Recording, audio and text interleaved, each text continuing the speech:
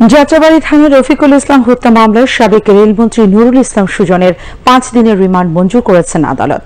এছাড়া আদাবর ও তেজগাঁও থানার পৃথক দুটি মামলায় আদালতে হাজির করে গ্রেপ্তার দেখানো হয়েছে সাবেক মন্ত্রী দীপু মনি, রাশিদ খান মেনন জোনায়দ আহমেদ পলক, হাসানুল হক ইনু, সাবেক আইজিপি আবদুল্লাহ আল মামুন, অতিরিক্ত অ্যাটর্নি জেনারেল মেহেদি হাসান, সাংবাদিক দম্পতি ফারজানা রূপা ও শাকিল আহমেদকে।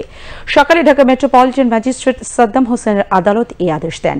এদিন সকালে করা নিরাপত্তায় সাবেক প্রধানমন্ত্রীর বেসরকারি শিল্প ও বিনিয়োগ উপদেষ্টা সালমান এফ রহমান সহ আসামিদের হাজির করা হয়। এরপর আসামি পক্ষের আইনজীবীরা জামিনের আবেদন করেন।